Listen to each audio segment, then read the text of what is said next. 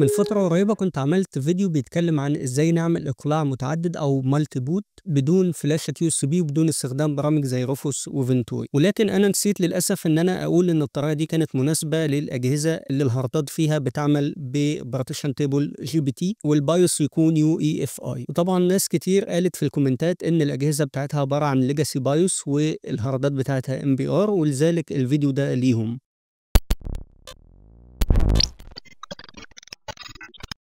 أهلا وسهلا بيكم برحب بيكم في فيديو جديد. أنا محمد غراب. طيب إحنا علشان ندخل في الموضوع على طول إحنا محتاجين بعض الحاجات البسيطة. ال GrubFM وده هيكون موجود عندك لو أنت كنت متابع الفيديو القديم. وبرنامج EasyBCD هو ده البرنامج الجديد وحجمه بسيط وكل روابط هتلاقوها في صندوق الوصف. وطبعا ملفات أيزو علشان نجرب النظام. طيب إحنا هنعمل إيه؟ أول حاجة هيبقى مطلوب مننا إن إحنا نثبت برنامج EasyBCD نوافق بالضغط على yes بعد كده نثبت البرنامج بطريقة عادية خالص next I agree وغيره install وبعد كده نشغل البرنامج بالشكل ده تمام؟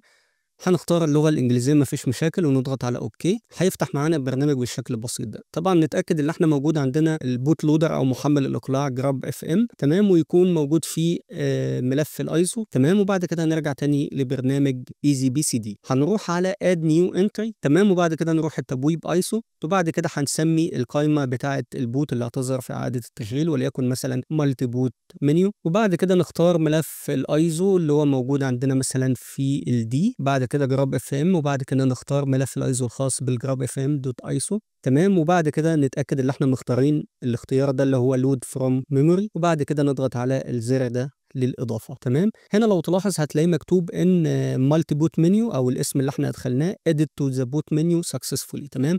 نقدر نتأكد منين؟ هنروح ل edit boot menu هنلاقي إن الاختيار ظاهر معانا بالشكل ده. طيب هل مطلوب مننا إن إحنا نعمل حاجة تانية؟ لا. هنضغط right click هنعمل بس restart للجهاز علشان خاطر نبوت من المنيو اللي إحنا أضفناها دلوقتي. بعد إعادة تشغيل الجهاز هنلاقي إن في ال multiboot menu ظهرت هنا هنضغط عليها علشان نختارها وهيطلع معانا محمل الإقلاع بالشكل ده. هنتنقل بالأسهم كده علشان خاطر نروح نجرب نفتح أي ملف ايسو وليكن مثلا خليني أجرب ال Hiren's BootCD تمام؟ وبعد كده ادوس على enter وبعد كده اختار boot from ISO زي ما إحنا شايفين بيبتدي ال Hiren's BootCD يشتغل معانا بالشكل ده. تمام؟ ولو جبنا هنا This PC هنلاقي إن هو متعرف على كل الهاردات بتاعتنا. وطبعا Hiren's BootCD معروفة ان هي أسطوانة صيانة مشهورة.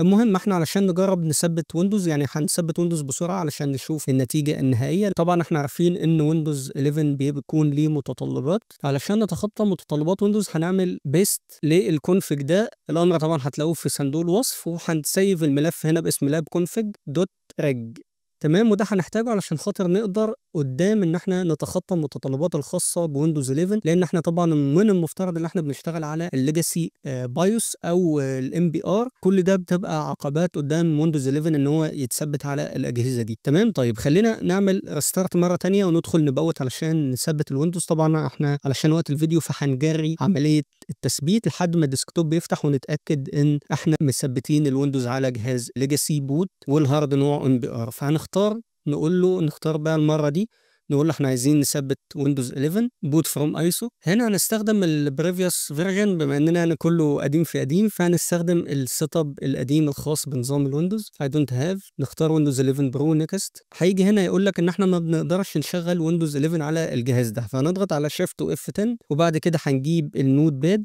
وبعد كده هنروح على file open و This PC ونروح على drive ال D ونقول له اظهر لنا all files فهنلاقي ملف ال lab config اللي إحنا عملناه دلوقتي. هندوس عليه right click ونختار merge وبعد كده نقول له yes وبعد كده نقول له okay ونكنسل وبعد كده نقول له okay ونقفل ال Notepad ونقفل ال command prompt وبعد كده نرجع back بعد كده نختار ويندوز 11 Pro تاني وبعد كده نقول له next و boom هيفتح معانا دلوقتي نثبت ويندوز 11 عادي على الجهاز القديم. وطبعا ده ال drive اللي هو ال C فهنقول له ماشي مفيش مشكلة اعمل format لل drive ده. تمام وبعد كده نقول له next هيبتدي الويندوز يتثبت بطريقة طبيعية. طبعا أنا هجري العملية دي علشان خاطر ما نطولش وقت الفيديو وبعد ما ال desktop يفتح هنشوف الدنيا عاملة إزاي. بعد ما يفتح معانا الويندوز نضغط right click على start وبعد كده disk management هيبان معانا إن هنا الهارد عبارة عن MBR زي ما إحنا شايفين.